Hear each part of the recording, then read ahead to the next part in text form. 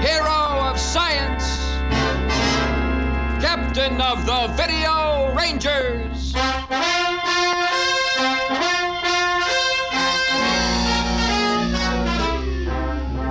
Operating from his secret mountain headquarters on the planet Earth, Captain Video rallies men of goodwill everywhere. As he rockets from planet to planet, let us follow the champion of justice, truth, and freedom throughout the universe.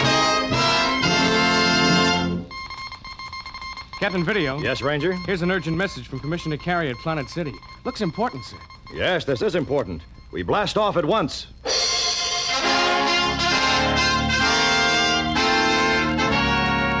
Captain Video and his assistant, the Video Ranger, who worked together as a well knit team, landed their rocket ship, the Galaxy, at the spaceport in Planet City, where they hailed a copter cab and were whisked up to the 144th floor of the public safety building. Commissioner Carey, Captain Video and the Ranger reporting, sir. And just in time, Captain. You've heard of Octavo? Octavo, one of the worst criminals of our times. But isn't he imprisoned on the moon? Exactly. But we are moving the penal colony from the moon to Jupiter. Octavo and his accomplice, Jeremy Finch, are too dangerous to be moved with the rest of the criminals on the regular prison ship, so I want you to take them on your own ship, the Galaxy. Those birds on the Galaxy? It is dangerous, but we'll do it. Okay, Ranger, let's go. Quickly, the Galaxy was loaded and fueled. This way, Octavo. Relax, we've a long way to go. I'm more than relaxed, Captain Video. You too, Finch, and no tricks. Tricks? Look at me, nothing up my sleeve. Sit down, fool. As the captain said, we have a long way to go.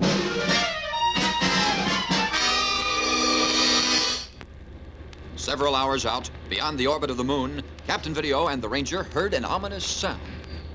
Listen, something's wrong with the engines.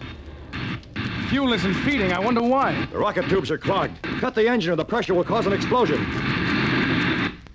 Uh, now what do we do? We put on our spacesuits and go outside to clear them with space picks. I'm with you, sir, but what about Octavo and Finch? We'll lock the control cabin. That'll take care of them. As Captain Video and the Ranger stepped outside through the airlock. Finch, if we start the engine, those two will be thrown into space. Great idea, Octavo. But how do we get into the control cabin? It's locked. Video and the Ranger are using space picks out there. There are more space picks in here. We'll get one and break into the control cabin. In a matter of minutes, Octavo and Finch were in the control cabin. Octavo turned on the engines. With a roar, they started up. Outside on the hull of the Galaxy, the vibration knocked over Captain Video and the Ranger. Captain Video grabbed the rocket tube just in time to keep from slipping off into space. But as for the Video Ranger, Ranger, where are you? You all right? Captain, help! I'm drifting away. They started up the engines, but I turned on the automatic cutoff when we left the ship. The Galaxy won't move before they find the cutoff and turn it on again. But how do you reach me? I have a rope on my suit. You must catch it when I throw it out. All right, steady now. Here! the rope shot out from the Galaxy. Three times the Ranger missed. Then on the fourth, he caught it. I've got it, sir. Pull in. You're the biggest fish I ever caught. Easy, just a couple of feet now. There! Oh, thanks, Captain Video. You really had me worried. Now let's get at those two jokers inside. Here's the airlock again. I'll open it. Greetings, gentlemen. Why, Captain Video, but I thought. There are other ways, Captain. Look out, Ranger. He's got a space pick. No, you don't. All right, Octavo Finch, up against the wall. It was my idea. I'm on your side. Quiet, you slobbering fool. That's enough, both of you. Now, one more move. On... What's that? It's one of the rockets, sir. Damaged by the pressure. They should never have started up the engines with the rocket tubes clogged. Check the engines, Ranger.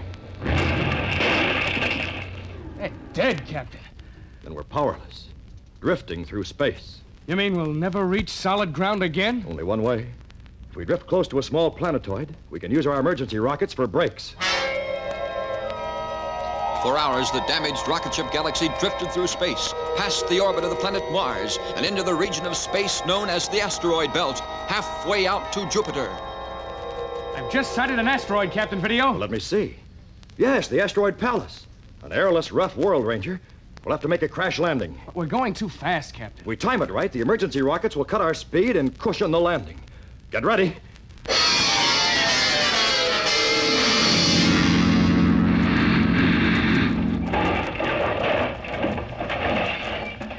The landing on the asteroid Pallas was bumpy, but successful. While the Ranger guarded Octavo and Finch, Captain Video repaired the rocket tubes. Then, suddenly, Ranger, we can blast off except for one thing. What's that, Captain? The engine needs repairs. We'll have to locate some copper. Let us help, Captain. We're all in the same boat. Uh, Octavo, I should put you and Finch in irons, but locating copper won't be easy. If you cooperate, I'll see to it that you're repaid when we land at Jupiter. they separated into two groups Captain Video and the Ranger in one direction, Octavo and Finch in another. Captain, look, a vein of metal. Yes, copper, all right. I knew this asteroid had some. Let's start digging. But on another part of the asteroid, Now they're out of sight. Back to the ship, Finch. There still is enough power in the emergency rockets to blast off. Yeah, but how far will we get with the engine needing repairs? Far enough to call my men who'll set us free. As for Captain Video and the Ranger, we'll leave them here, marooned forever. Guess that about does it, Ranger. We've enough copper now. Let's head back to the ship. Captain, look, Octavo and Finch, they're trying to get into the galaxy. That means they want to leave without us. Come on! Captain Video and the Ranger reached the criminals just as they forced the airlock open. No, you don't, Octavo. What? Maybe this will teach you to cooperate. He's out cold, Captain. Put them both in irons, Ranger. Then we repair the damaged engine and blast off for Jupiter.